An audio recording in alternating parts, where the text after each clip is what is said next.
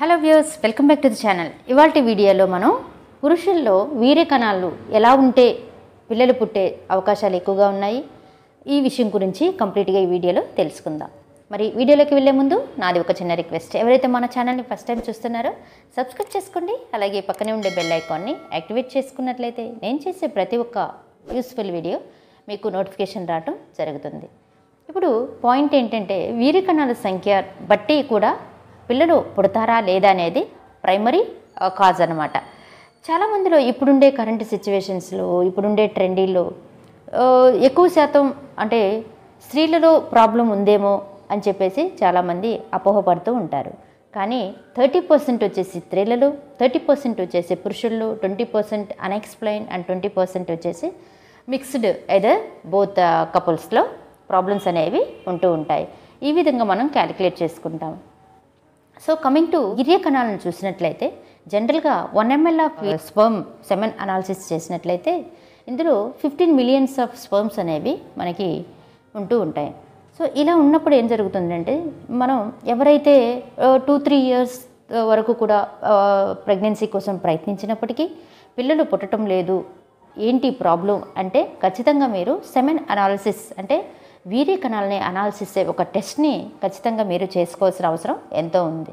So ఆ టెస్ట్ని బట్టి in case ఆ టెస్ట్లో మీకు నార్మల్గా ఉందా లేదా అబ్నార్మల్గా ఉందా అనేది స్క్రోటమ్ స్కాన్ అనేది తీసి అనాలిసిస్ చేయటం జరుగుతుందన్నమాట. ఆ స్కాన్లో మీకు వీర్యకణాలు ఎలా ప్రొడ్యూస్ అవుతున్నాయి? ఎన్ని వీర్యకణాలు హెల్దీగా ఉన్నాయి? ఏదైనా మొటిలిటీగా ఉన్నాయా లేదా? యొక్క మార్ఫాలజీ ఎలా ఉంది? అనేది అంశం అన్నీ కూడా ఈ యొక్క చిన్న టెస్ట్లో తెలిసిపోతూ ఉంటుంది. సెమె కొంతమందిలో చూసినట్లయితే సెమెన్ నార్మల్గా ఉన్నప్పటికీ ఐ మీన్ జీరో ఉన్నప్పటికీ కొన్ని ఫర్దర్ ట్యాబ్లెట్స్ వల్ల లేదంటే మెడిసిన్స్ వల్ల మీ యొక్క స్పర్మ్ కౌంట్ని ఇంక్రీజ్ చేసే అవకాశాలు ఎక్కువగా ఉంటాయి కాబట్టి ఇప్పుడుండే ఆధునిక టెక్నిక్కి పిల్లలు పుట్టడం లేదు. లేదంటే మాకు ప్రయత్నించినప్పటికీ మాకు స్పోమ్ కౌంట్ ఇంక్రీజ్ అవటం లేదు అని ఆందోళన అయితే చెందనవసరం లేదు. సో దానికి తగినట్టు అడ్వాన్స్ టెక్నాలజీ మెడికేషన్స్ అనేవి ఉన్నాయి. ఫర్దర్ అడ్వాన్స్ ట్రీట్మెంట్ అనేది కూడా అవైలబుల్గా ఉంది కాబట్టి ఎటువంటి వరీస్ అవసరం లేదు. కానీ కొంతమందిలో ఈ స్పోమ్ కౌంట్ అనేది జీరో ఉన్నప్పటికీ పిల్లలు పుట్టే అవకాశాలు ఎక్కువగా ఉంటాయి. సో మీరు వరి అవ్వాల్సిన అవసరమే లేదు. ఈ యొక్క స్క్రోటమ్ అనాలిసిస్ చేసినప్పుడు స్క్రోటంలో అసలు ఈ ప్రొడ్యూస్ అవుతున్నాయా లేదా స్పోమ్స్ అనేది ఆల్రెడీ ఎక్స్ప్లెయిన్ సో దాని యొక్క మార్ఫాలజీ బేస్ చేసుకొని కూడా చాలా ఇంపార్టెంట్ అనమాట అంటే చాలామందిలో ఎక్కువగా స్పోమ్ ఉంటుంది. కానీ వాళ్ళల్లో మొటిలిటీ ఆర్ మార్ఫాలజికల్ ప్రాబ్లమ్స్ అనేవి ఉండటం వలన పిల్లలు పుట్టే అవకాశాలు తక్కువగా ఉంటాయి. So coming to morphology. Morphology చూసినట్లయితే యాక్చువల్గా ఒక స్పర్మ్ని స్ట్రక్చర్ చూసినట్లయితే హెడ్ నెక్ టైల్ ఈ విధంగా మనకి యొక్క స్ట్రక్చర్ ఆఫ్ స్పర్మ్ని చెప్తాం.